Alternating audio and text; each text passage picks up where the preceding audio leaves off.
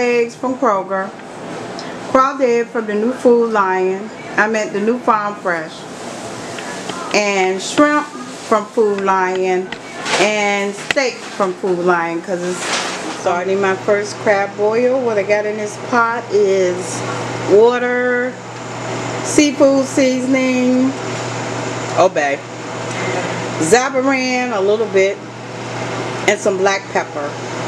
I have one whole lemon. My water is about to boil. Three cloves of garlic. This is orange and lemon, and this is how I usually mix orange and lemon with my tea. But I usually have ginger in it, which I don't have today. I'm adding the corn. Getting ready to add the sausage and then the potatoes. Okay. I'm adding some turkey sausage.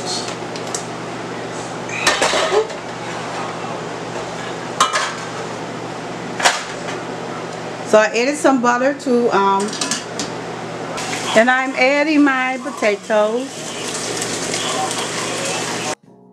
If this was pork or beef sausage, it would take a whole lot longer to cook.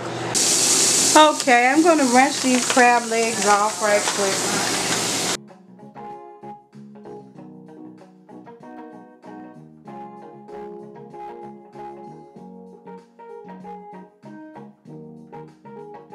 Alright, I'm getting ready to rinse the crawdad.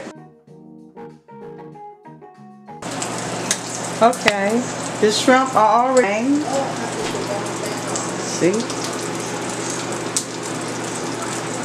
And I'm adding the shrimp.